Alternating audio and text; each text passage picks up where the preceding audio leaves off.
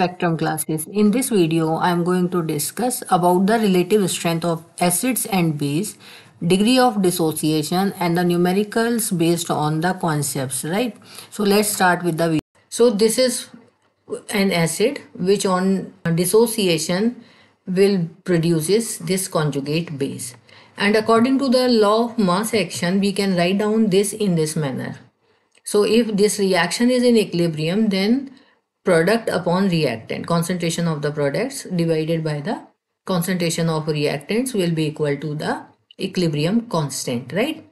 But since as compared to our acid this H2O is more in concentration or we can say suppose I am having lots of solvent and to this solvent I have just added very less amount of the acid right? So this acid is added to the solvent so in comparison to this acid, our solvent is very high. We can assume that the concentration of this water or the solvent is too high and that will be a constant. This equation can be written as like this.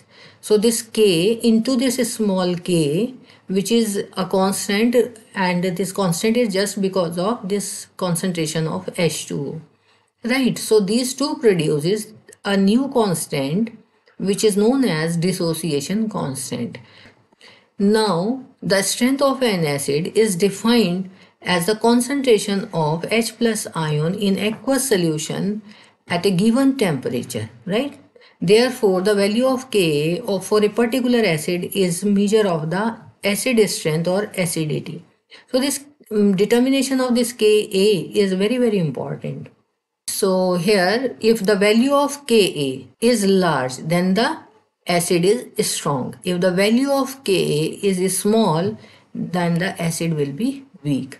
If I will take minus log base 10 of this Ka then we can write it pKa right. So since this is negative in sign so if the value of this pKa is small then the acid will be strong and if this pKa is large then the acid will be the weak acid.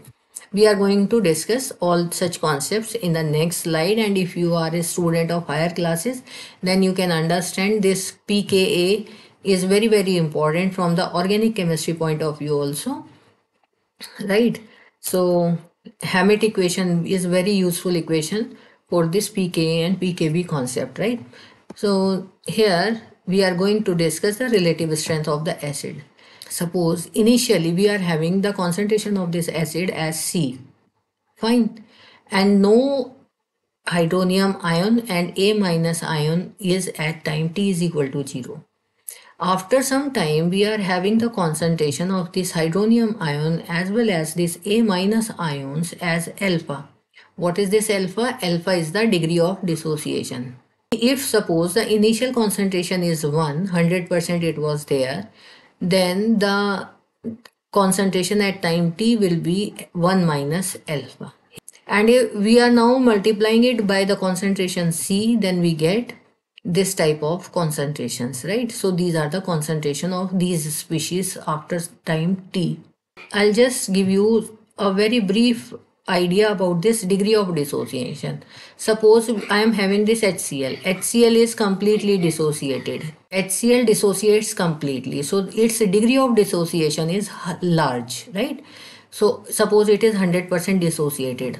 If I am having this CH3COOH and this acid is in equilibrium and it exists as CH3COO minus plus H plus ions, right? So this exists in equilibrium means undissociated is in equilibrium with the dissociated species. So suppose at the maximum it is dissociated up to 50%, 60%, not 100%. That is why this equilibrium exists between these two undissociated and dissociated species. And this is known as degree of dissociation. How much to up to which extent it dissociates right? So that is why here in this case or in case of weak acids it is important that the degree of dissociation right? Say this acid dissociates up to alpha. So the initial concentration will be how much? 1 minus alpha. Suppose at the time t is equal to 0 we are having this ch3coh 100% and after some time we are having some dissociated species and some undissociated species. Suppose it dissociates 50% so 50% ch3coh we are having and 50% of ch3coo minus we are having. So that is the concept of having this 1 minus alpha. So 1 minus if this is 0.5 and uh, then it will be again 0.5 if this is 60% then it will be 40% so this is how this alpha is important in case of numericals right? So the dissociation constant is written like this. In my previous slide i have written. So product upon reactant. So concentration of product. Products are h3o plus and a minus divided by ha and h2o we have taken as constant right concentration of h2o now putting all the values C alpha for A minus and C alpha for H3O plus and for HA C 1 minus alpha. If suppose the alpha is very very less than to the 1 then we can neglect this term 1 minus alpha. It becomes 1 simply right and C into 1 we will get C and in the numerator we are having two concentration terms so c will be cancelled out by this c. So ultimately we leave with the concentration into alpha square. Ka is equal to this much. And what about this alpha? So the alpha will be equal to your alpha will be equal to under root ka upon c. If suppose i am just want to determine the relative strengths. Relative means with respect to the other one. So alpha 1 divided by alpha 2 will be equal to under root k L A 1 divided by K A 2. So these are the dissociation constants for acid 1. This is the uh, dissociation constant for acid 2 and these are the degree of dissociations right for acid 1 and 2 respectively and the condition is concentration for both the acid must be same only then it will be cancelled out right so this is how one can determine the relative strength of the acids by this relationship. Now I am going to solve few of the numerical problems based on the concepts which we have discussed here in this video, right? So here the numerical number 1, the dissociation constant of formic acid and acetic acid are this and this respectively.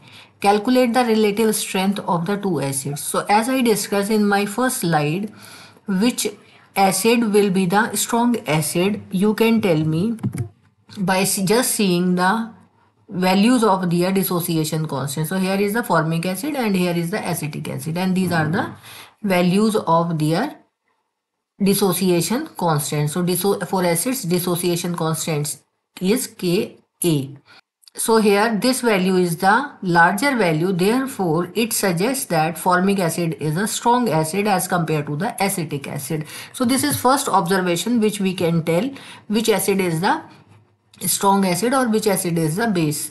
So here in previous slide we have calculated that alpha 1 upon alpha 2 is equal to under root k alpha, ka1 divided by ka2 right so putting all the values here in this in this formula what we will get? We will get this much. So for formic acid the dissociation constant is this. For acetic acid the dissociation constant is this. And on solving these two what we will get? I will get this much. 3.18 value right? So here we can see the relative strength of the formic acid with respect to the acetic acid. So formic acid is 3.18 times stronger as compared to the acetic acid. So here we can calculate the actual value how much strong this formic acid is to this acetic acid. But at first sight qualitatively we can say which acid is the strong acid. And now numerical problem number 2 so a solution of this molar molarity is this much of acetic acid is found to be dissociated to the extent 1.33%. So what do you mean with this? Dissociated to this much extent. This is the degree of dissociation alpha at room temperature. Calculate the dissociation constant. What is called dissociation constant? Dissociation constant is Ka of the acid at this temperature. So So here are the degree of dissociation of acetic acid which is given over here in percent. So in percent will be converted by dividing this 100. So what I will get degree of dissociation alpha, alpha is this much. So this alpha is less than to 1 though we have this relationship but here alpha is very less than to 1 so it will be converted to c alpha c alpha divided by c and this c will be cancelled out by this c so we ultimately get back to this Ka is equal to C alpha square. And on putting the values so here M is what? M is this much. Here 0.1 molar acetic acid. And what about the alpha value? Alpha is here from this. So we are going to put over here. And now in this case we are getting this value.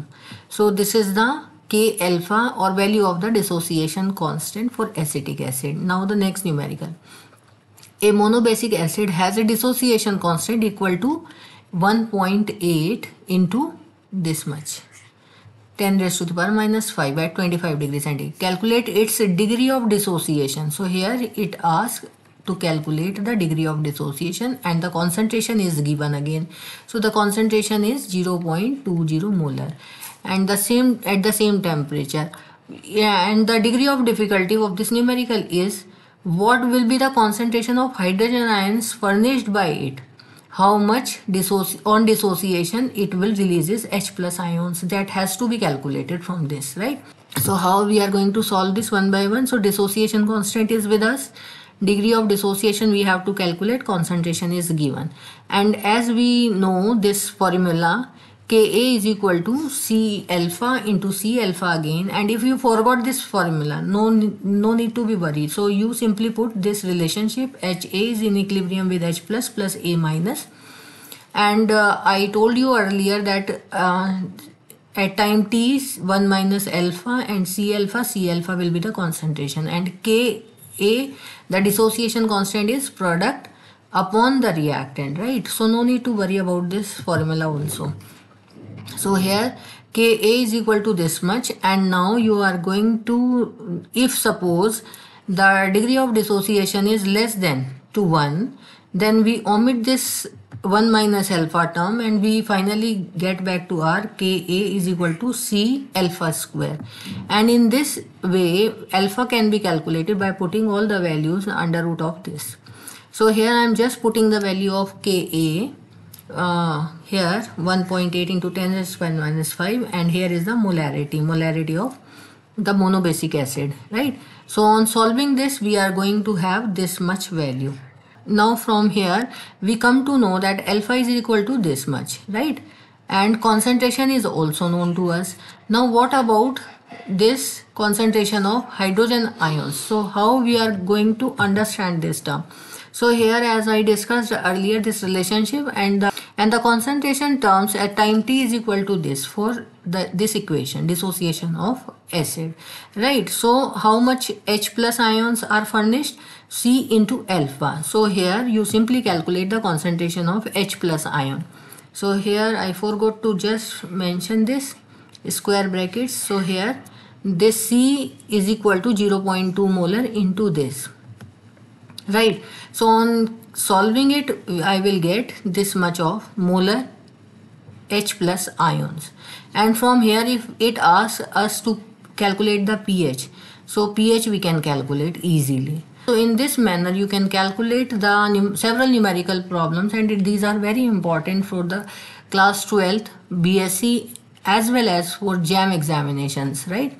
So I hope you like this video. Thank you all. Thanks for watching